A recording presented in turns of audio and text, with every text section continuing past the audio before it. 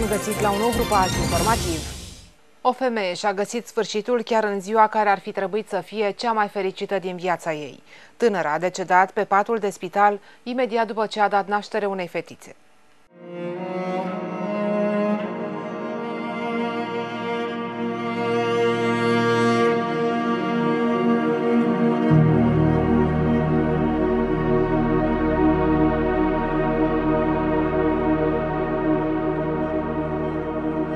Vreau decât dreptate, Doamne.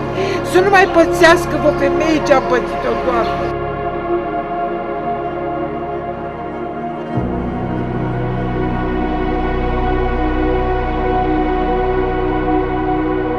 Azi noapte, la Spitalul Județean din Focșani a decedat o femeie în vârstă de 36 de ani la scurt timp după ce a născut. Copilul a fost dorit și așteptat mult timp, iar marți, 9 iulie, dorința femeii s-a împlinit. A devenit mamă. Însă, în mod tragic, proaspăta mămică nu a mai putut să se bucure de sufletul căruia abia îi dăduse viață. Nașterea s-a desfășurat normal pe cale naturală. Apoi, la scurt timp, ea a intrat în stop cardiorespirator. Cadrele medicale au resuscitat-o și a revenit pe moment, dar a intrat din nou în stop cardiorespirator. Eforturile cadrelor medicale de la terapie intensivă nu au mai dat roade după o succesiune de astfel de situații. Inima tinerei mămici a încetat să mai bată. Cosmin Podlog, soțul Nicoletei Ciuciur Podlog, femeia care a murit în cursul zilei de marți la Spitalul de Urgență din Focșani, la scurt timp după ce a născut o fetiță perfect sănătoasă, a depus în cursul zilei de astăzi o plângere la poliție. Bărbatul, cadru militar în Focșani, a declarat că nu vrea să acuze medice pentru moartea soției sale, medici care, în opinia sa, și-au făcut datoria cu prisosință, ci sistemul medical care nu oferă cele mai bune condiții în astfel de situații, respectiv aparatură performantă. De, de când era internat în spital? Din aceea zi, din după 8, la ora 14, de luni la ora 14 și a născut la... a fost conștientă, doar au pregătit-o pentru naștere, a fost la în sala de travaliu cu mine, a fost, a stat câteva ore acolo, a fost conștient, am vorbit la telefon, că avea telefonul cu el. Și am și văzut-o când a intrat în sala de naștere, a intrat pe la ora 11, la 12 a și născut. Că deci după ce a născut a, a făcut anestezie? I-a făcut anestezie ca să poate să elimine placenta Așa. manual, că n-a putut odată cu nașterea să elimine și placenta. A durat cam vreo oră la eliminare și după ce s-a după ce a terminat de un doctor cu totul cu cu acusutul, ci după aia nu și-a a intrat în stare de din conștiență. Prima dată a avut un stop și un uh, preinfarct, cum ar veni, și a revenit și după aia a mai avut altele și altele și nu s-a mai văzut. A, a, uh, a resuscitat tot timp de o oră și după aia și-a revenit cât de cât și tot îi fluctuau ăsta, cum Înțeleg că aveți suspiciuni cu privire la această cauză a morții. Da. Și ați venit la poliția asta ca să da. Da, ca să, să vedem cauzele, că a fost prea, deodată se simțea bine și nu se explică nici nimeni nici doctori, nici... S-a pus și problema unei cezariene, dar numai că a considera cum spune domn doctor, că el știe mai bine, că noi nu avem cum să știm. Dar... A fost recomandarea medicului da, să fie că până la urmă fata era întoarsă invers, era pregătită pentru noastră, a fost, a fost toate, a decurs bine, că dacă zic că nu să... Dacă erau probleme la travaliu, cred că intervenea direct cezarian. Doamne, până acum s-a consumat vreo 70 de milioane de la începutul sarcinii. Cum să nu dau, Doamne, aveam de gând să dau, dar ieri nu primea nimeni. Dacă fost să iau doctorii pe hol și asistentele și preotul și când am văzut preotul că vrea să vină și mă spovedească, ce asta Am crezut că moare, deci ce să mai aștept, Doamne? Mi-a resuscitat-o de trei ori. Singura fetiță care o aveam 36 de ani și nu o fac oarecare. Nu ne-o dă acum pentru că Eu la doctor ieri când mi-a ieșit și ne-a spus condoleanțe și nu știu ce, i-am spus îmi pare foarte rău de dumneavoastră, dar eu fac scris mai departe, nu ca să vă aresteze, nu ca să plătiți, ci să nu mai pățească mame ca mine. Că eu sunt o mamă distrusă la ora actuală. Am muncit o viață și n-am avut decât un copil și pentru ce să mai trăiesc? Și el a zis, faceți ce puteți, ce credeți, eu am făcut ce am putut. Măcar cât de cât să vedem dreptatea. E foarte tânăr, e foarte, nume, nu, e foarte cunoscut, doctorul Făinoiu de aici, din oraș. E foarte cunoscut, a fost foarte plăcut și cu controlele, câte de, de două ori Dar pe n-a lună. fost mai mulți medici ginecologi să-și pună Nu, acordul? deci acolo a fost numai el singur. Și n-a sunat și la alții, măi, oameni buni. Dar vă dați seama dacă fiica mea a vorbit după ce a văzut fata când a născut-o? Deci a A născut-o pierdut sânge foarte mult. deci să- uh, în timpul ăla când a, i-a zis, i-a dat pe soț afară și a zis că s-o cureție de placentă. În cursul acestei dimineți, la sediul Inspectoratului de Poliție Județean Vrancea a fost înregistrată plângerea soțului în cauză, în baza căreia a fost întocmit dosar penal sub aspectul săvârșirii infracțiunii de ucidere din culpă. În funcție de rezultatul cercetărilor vor fi dispuse măsurile legale în cauză. Plângerea a fost înregistrată la Inspectoratul de Poliție Județean Vrancea în cursul zilei de astăzi, iar în baza acesteia a fost întocmit dosar penal în care se efectuează cercetări sub aspectul săvârșirii infracțiunii de ucidere din culpă. În funcție de rezultatul acestora, vor fi dispuse măsurile legale în cauză. Practic, ce dorește să afle cel care a reclamat uh, cazul? Dorește să afle dacă a existat vreo omisiune sau greșeală în actul medical. Nu a acuzat pe cineva anume sau... Nu, nu. Totodată a fost declanșată și o anchetă internă la Spitalul Județean Sfântul Pantelimon din Focșani. Spitalul va desfășura uh, propria anchetă administrativă pentru a vedea dacă au fost uh, respectate protocoalele medicale. Pe perioada sarcinii au fost două elemente care, dar fără o, fără o semnificație prea mare, la un moment dat doamna a avut uh, ceva colică renal sau ceva de genul ăsta, undeva pe la vreo 30 de săptămâni, când la analizele de la acel, deci de început de trimestrul întâi, au ieșit niște transaminaze ușor, adică nu, chiar mărite, undeva la vreo 300. Analizele sunt disponibile, sunt în dosarul mamei, deci nu spun așa. În rest, din punctul meu de vedere, tot a decurs normal. Și atunci seara, când uh, scurt înainte, au avut probleme sau nu? Nu. Pro, uh, ideea este în felul următor, că noi am, uh, la ultimul control făcut, am stabilit de comun de acord să avem o întâlnire undeva pe 15 uh, iulie, luna aceasta, adică luni, uh, datorită fisurării sau membranelor. O zi înainte asta a fost o chestie afirmată de uh, pacientă. A venit, uh, deci duminică, dumneavoastră a relatat că s-a a venit luni la spital, uh, undeva în jurul prânzului, am constatat acest lucru, motiv pentru care am internat. Deci, nu aveam cum să spun că du acasă și vine cum am stabilit bine pe 5, nu pe 5, pentru că asta a fost evoluția și se poate întâmpla în obstetrică de la 36 de săptămâni se poate naște oricând fără nicio problemă. Înțeles că a avut ceva probleme cu coagularea sângelui, ar fi avut Asta- o hemoragie puternică. Invers. Uh, asta e vreau să spun.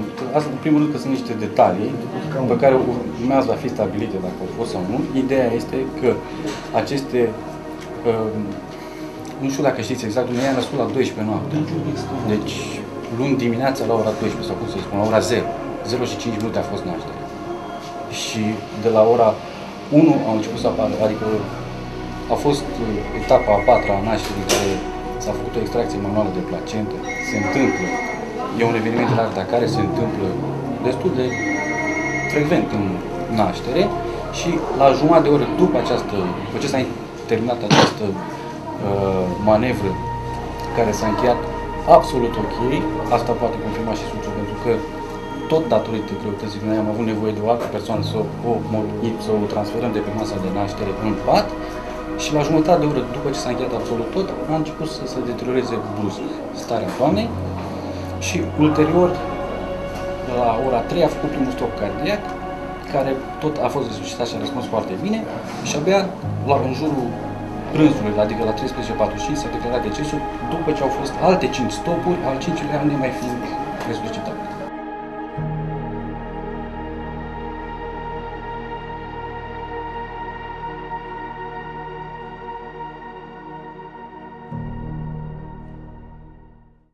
Consilierii județene au aprobat ieri nota conceptuală și tema de proiectare a noului spital care se va construi în Focșani.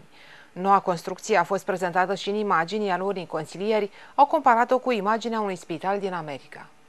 Nota conceptuală și tema de proiectare a noului spital care se va construi în municipiul Focșani sunt realizate de o firmă din Ploiești și au fost prezentate ieri în cadrul ședinței Consiliului Județean. Consilierii PNL s-au arătat uimiți de arhitectura noului spital, despre care au spus că seamănă cu a unei unități medicale din America și că se tem ca americanii să nu ceară drepturi de autor. Neclaritățile pe care le-au avut consilierii județeni au fost lămurite de arhitectul care a prezentat nota conceptuală și tema de proiectare a noului spital. Vreau să întreb pe doamna arhitect dacă designul clădirii este unul original 100% pentru că seamănă izbitor de mult cu clădirea unui spital din Illinois și să nu fim dați în judecată de către firma din Chicago care a realizat proiectul. Mulțumesc. Cred că mi este greu să răspund în termeni procentuali. Am să, dacă îmi dați numele spitalului din Illinois, am să pot verifica. Din cunoștințele mele, aș merge până la a spune că acest spital um, volumetria acestui spital este originală în proporție de 70-75%, ceea ce este general pentru orice obiect de arhitectură. În zilele noastre nu mai există nimic 100% original. Dar, cu siguranță, ce am făcut nu este peste uh, 50%. Noul spital județean va avea dimensiuni generoase, spații special concepute pentru toate activitățile medicale și conexe. Construirea noului spital județean de urgență va costa aproximativ 143 de milioane de euro. Unul la mână, am văzut o sumă acolo de 143 de milioane de euro ca și evaluare finală. Mă interesează dacă asta este și cu dotări uh, sau este doar parte de construcții. Uh, n-am auzit sau n-am văzut dacă va avea și Departament de Radiologie Imagistică. Uh, și... Da, cum vreți. Și mai aveam un singur întrebare. Uh, o să vă răspund și la a treia, lăsați-mă să okay. răspund.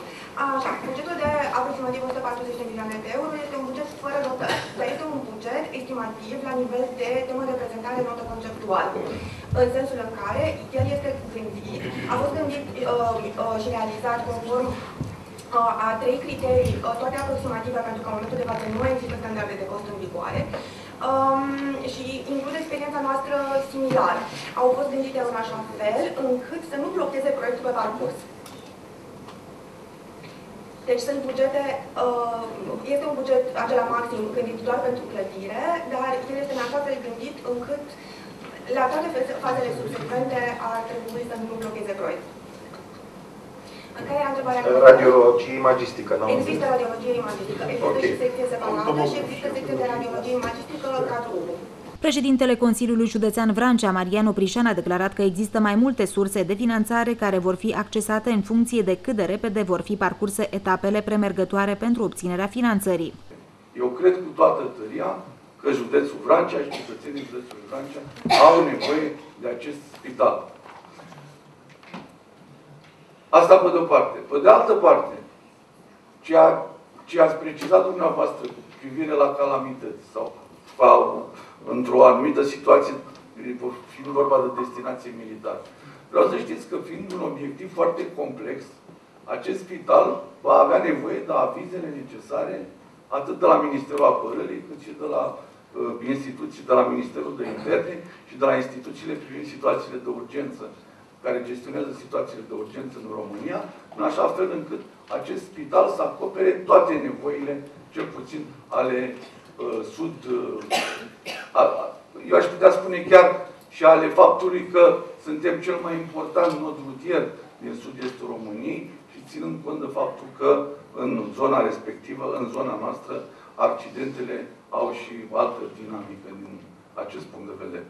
În rest, în ceea ce privește finanțarea, dacă suntem băieți deștepți și ne mișcăm repede, finanțarea va fi asigurată de către cele 700 de milioane de euro aflute la dispoziție de programul de infrastructură mare, deci de fonduri europene.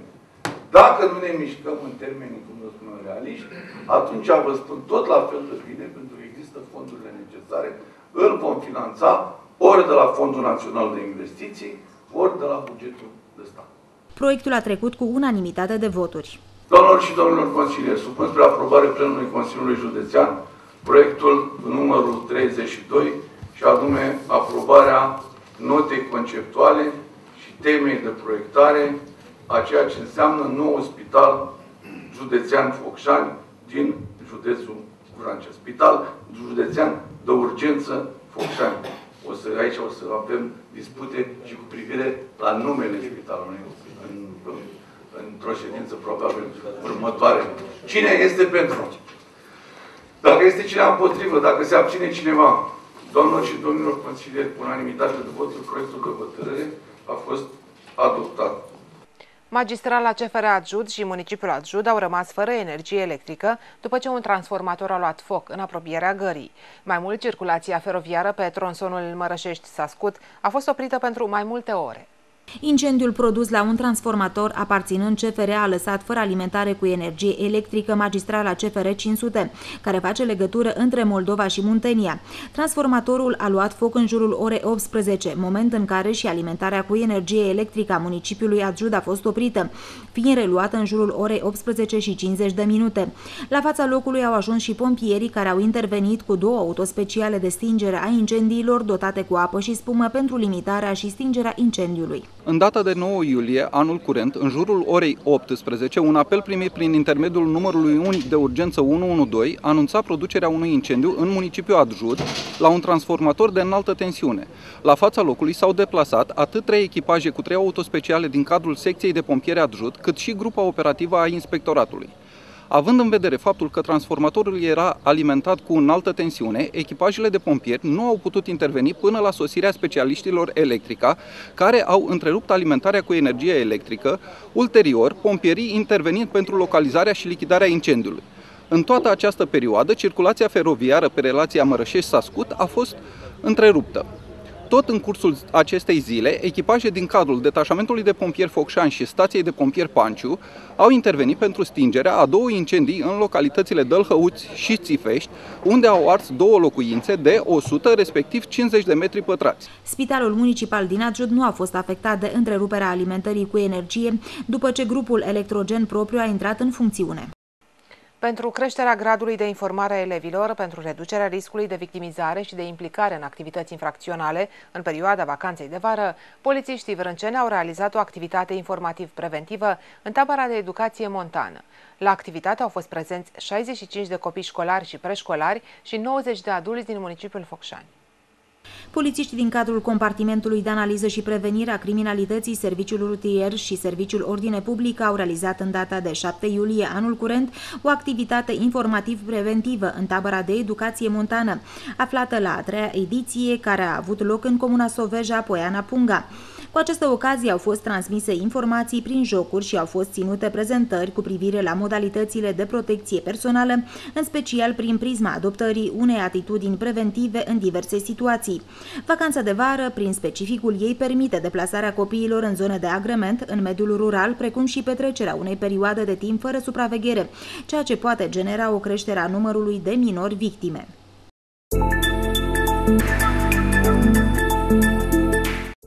La final, vă prezentăm prognoza meteo pentru următoarele 24 de ore. Vremea va fi în general frumoasă ca aspect, cerul va fi mai mult senin, vântul va sufla moderat. Temperaturile minime se vor încadra între 14 și 16 grade Celsius, iar cele maxime între 23 și 25 de grade. Cu datele despre vreme, punem punct știrilor Atlas TV de astăzi. Vă mulțumim pentru atenție, să aveți parte de o seară cât mai frumoasă. La revedere!